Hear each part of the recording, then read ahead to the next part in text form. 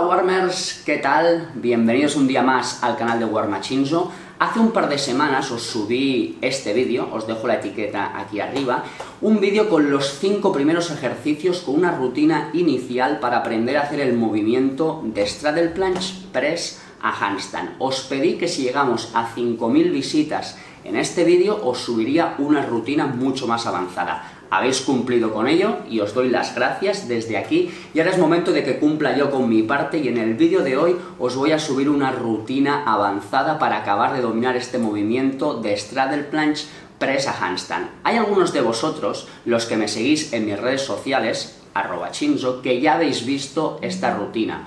¿Por qué? Porque aquellos que me seguís en mis redes sociales de vez en cuando tenéis contenido exclusivo, tenéis acceso a los vídeos antes que nadie. Os pedí que hicieras unas acciones desde mis redes sociales en comentarios en mi canal de YouTube con la palabra Bunkai. Muchos de vosotros lo habéis hecho y es por eso que habéis podido disfrutar de la rutina antes que nadie. Os agradezco también que no solamente me apoyéis en el canal de YouTube, sino que también me apoyéis en mis redes personales. Así que nada, no me enrollo más y vamos a arrancar con la rutina de hoy. Vamos con el ejercicio 1. Fijaros, nos colocamos en handstand con las piernas abiertas. En la pared las manos están ligeramente adelantadas de la pared porque si no cuando baje las piernas no podría adelantar el hombro. Lo que vamos a hacer es que vamos a ir deslizando las piernas con la cadera extendida y vamos a bajar en 5 segundos muy lentamente hasta marcar esa posición de straddle planche. No tenemos prisa, no hay que parar la posición de straddle planche, sino que voy deslizando, voy bajando las piernas lentamente por la pared, cuando llego a straddle planche, descanso, vuelvo a subir a handstand y de nuevo. Vamos a hacer 5 repeticiones, fijaros bien en el vídeo que el ángulo de mi cadera no varía, estoy todo el rato con la cadera extendida y en la bajada lo que hago es adelantar bien los hombros por delante de la mano para generar contrapeso, para generar fuerza con el deltoides y poder controlar de una manera más cómoda esa bajada de las piernas por la pared.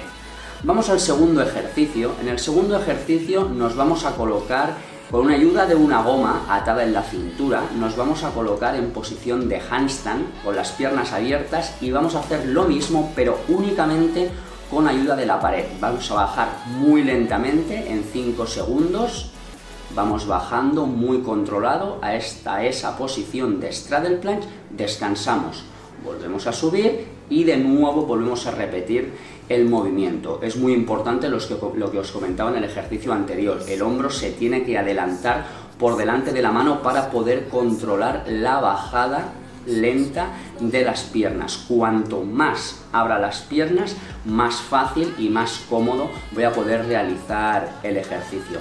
Como habéis podido ver en, este ejercicio 2, yo he utilizado un sistema muy especial que es una auténtica pasada, que es el Tower Spot. Os dejo aquí arriba un vídeo resumen sobre las funcionalidades de este mecanismo de entrenamiento y abajo en la descripción del vídeo os dejo el enlace para todas aquellas personas que queráis visitar pues, la página oficial o que queráis comprarlo. Esto es un cinturón en el cual se enganchan gomas de diferentes tensiones. Cada goma te especifica cuánto peso te está quitando. Cuanto más gomas utilice, más fácil será hacer el ejercicio, cuantos menos gomas utilice, más difícil será. Y con eso puedo ir controlando, puedo ir ajustando cuánto me falta para poder hacer el movimiento completamente solo. Obviamente no es necesario comprar este material para poder realizar estos ejercicios, también lo podría realizar con una goma circular de diferentes intensidades, la colgáis de la barra, la atáis en la cintura y hacéis los ejercicios. Yo he utilizado Tower Spot porque, como ya veis en mis historias de Instagram, es algo que utilizo siempre para las posiciones de fuerza en anillas, pero que sepáis que no es obligatorio utilizarlo. Vamos con el siguiente ejercicio. Seguimos trabajando con goma atada en la cintura, nos colocamos en handstand en las paralelas con piernas flexionadas y voy a bajar a posición de tac y voy a remontar de nuevo a handstand. Bajo en tac, remonto a handstand. Es muy importante que cuando bajo y cuando subo el ángulo de la cadera no varía. La cadera está totalmente extendida. Lo único que están flexionadas son las rodillas, pero no hay ángulo, no llevo las rodillas al pecho. La cadera está completamente extendida. Press a handstand, bajo a tac. Press a handstand, bajo a tac. Pasamos al siguiente ejercicio, que va a ser exactamente lo mismo que acabamos de ver, pero sin ayuda de goma. Vamos a hacer unas paralelas y sin ayuda de la goma, desde handstand con las piernas flexionadas, voy a bajar attack y voy a remontar. Muy importante intentar mantener el abdomen apretado, glúteos apretados y mantener esa extensión de cadera que comentábamos anteriormente. Ahí voy yo en la última repetición, estaba ya reventado y si os habéis fijado en el vídeo he tirado ligeramente de lumbar, eso es lo que suele pasar cuando estamos cansados y ya el deltoides no trabaja con la misma fuerza, que al inicio lo que suele pasar es que desvirtuamos un poco la técnica y tiramos con el lumbar. Si eso ocurre, es mejor bajar el número de repeticiones y hacerlas todas con la técnica correcta. Vamos al siguiente ejercicio, seguimos trabajando con la goma circular. Lo que vamos a hacer es desde straddle planche vamos a trabajar la fase únicamente de ascenso. Straddle planche y ascendemos a handstand con piernas abiertas, bajo, descanso y nuevamente repito. Como veis yo utilizo el Tower Spot que es muy cómodo y me permite regular con cuánto peso, con cuánta resistencia me estoy ayudando, pero como ya os he dicho anteriormente, podéis utilizar gomas circulares de diferentes resistencias, aunque no tendréis tan calculado cuánta es la resistencia que os está quitando, pero bueno, os podéis ayudar un poco de vuestras sensaciones.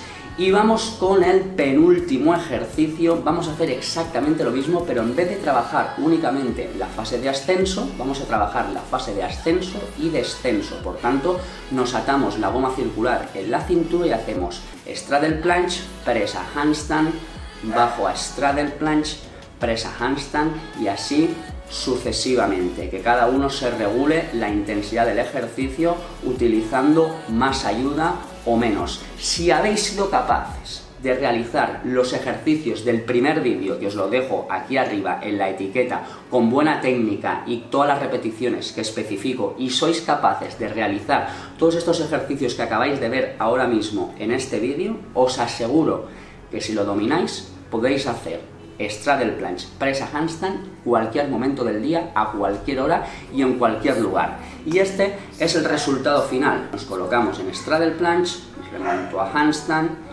y bajo a straddle planche. Os aseguro que si domináis los ejercicios anteriores vais a poder hacer esto con suma facilidad. Hasta aquí el vídeo de hoy, espero que os haya gustado las progresiones y los ejercicios. Ahora es momento de que cumpláis con vuestra parte y que pongáis en práctica todos estos ejercicios.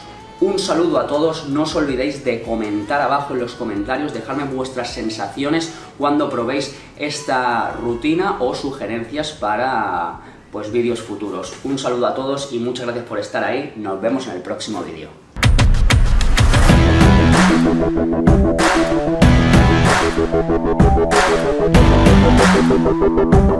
Thank